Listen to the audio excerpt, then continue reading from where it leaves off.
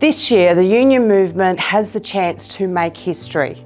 We have a massive role to play in the Yes campaign for Aboriginal and Torres Strait Islander peoples to be recognised in a practical form of a voice enshrined in the Constitution. After 65,000 years of continuous culture, Aboriginal and Torres Strait Islander peoples should be recognised in the Australian 122 year old Constitution. By campaigning for a yes vote this year, we'll be building on a proud union legacy. There is a long and proud history of Aboriginal and Torres Strait Islander unionists taking action and making change in our movement. I want to tell you three stories from that history that are relevant today. In 1939, a letter appeared in the newspaper of the Australian Workers' Union. It was written by a lifelong unionist who was remembering his time as a union member in the shearers' strikes of the 1890s. He wrote, I was a member of the Shearers Union from the time of its organisation until I got too old for work. I am now 78 years old. I was active in the union in the year of the call out, 1890 on the Darling River, and in the big shearers strike. In 1894, I was on picket duty. The author of that letter was William Cooper, the legendary Aboriginal activist and leader. He had played a leading role in the Day of Mourning in 1938. He had condemned Nazism and called for support for Europe's Jewish population when so many others were silent. And he had spent years gathering thousands of signatures from Aboriginal and Torres Strait Islander peoples on our famous petition to the King. The primary demand of that petition was to grant our people representation in the federal parliament. Mr Cooper was a proud unionist. He made a connection between the strikes of the 1890s and the ongoing struggle for justice for Aboriginal and Torres Strait Islander peoples. He saw the fate of the union movement and the struggle of Aboriginal and Torres Strait Islander peoples as being bound together, and so do we. In 1939, Mr Cooper was calling for a royal commission into the racist government board that sought to control Aboriginal people's lives in New South Wales and denied them self-determination.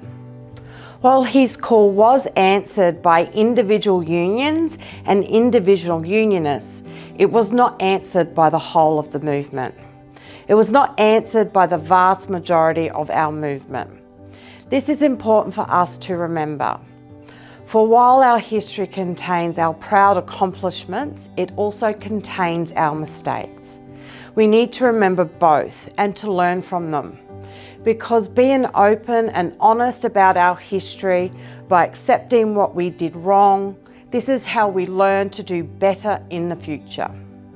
60 years ago, in 1963, the ACTU Congress adopted a far-reaching policy in support of Aboriginal and Torres Strait Islander people's rights.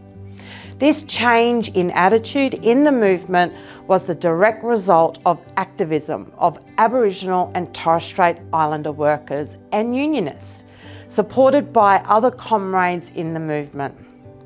Activists like Joe McGuinness, President of the Federal Council for the Advancement of Aborigines and Torres Strait Islanders, and proud members of the Waterside Workers Federation. Activists such as Davis Daniels and Dexter Daniels of the Northern Territory Council for Aboriginal Rights who would go on to play a central role in the wage equality campaign. In 1963, the union movement pledged our support for constitutional recognition of Aboriginal and Torres Strait Islander peoples. This became our support for the 1967 referendum. At that conference, we also pledged ourselves to campaign for wage equality for Aboriginal and Torres Strait Islander workers. This campaign was spearheaded by a union case for wage equality for the pastoral workers in the Northern Territory. But its most famous moment came at Wave Hill when the Gurindji workers, led by Vincent Lingiari, walked off the station. What followed was a nine year long struggle that began over wages but soon became a highly significant campaign for land rights. This nine year struggle was led by the Gurindji, but was also supported and sustained by unionists across the country who donated money and supplies and took action in solidarity. 30 years after the ACTU's 1963 Congress, in 1993, the ACTU hosted a major conference called Partners for Justice. This conference was held in the wake of the Mabo decision and amid the push for reconciliation. Partners for Justice brought Aboriginal and Torres Strait Islander unionists together to discuss the major issues facing them, to have a forum in which their views could be heard. Over two days of discussion, participants drew up an extensive set of policy proposals that were adopted at the ACTU Congress that took place later that year. It was an act of Aboriginal and Torres Strait Islander unionists coming together, bringing their knowledge to bear on the major pressing issues and determining themselves what the best response would be. A response that was then brought to Congress, the mass democratic decision making forum of the movement, and endorsed. In a speech prepared for the conference, the legendary Aboriginal educator, leader and unionist Kevin Cook said that the Aboriginal and Torres Strait Islander struggle for many generations had focused on recognition of our rightful ownership and of our desire to be custodians for our lands and he called on the broader movement to work to genuinely understand this perspective and to use this as the basis of our future learning and future actions. This is a challenge we still face today. These are three moments from a much longer history of Aboriginal and Torres Strait Islander unionists taking action for recognition and our basic rights. This is the legacy that all unionists have inherited. It is important for every union member to know this history. But it's even more important that we take the opportunity we have this year to make history. We have the chance to add a new chapter to our movement story. Let's make the most of it.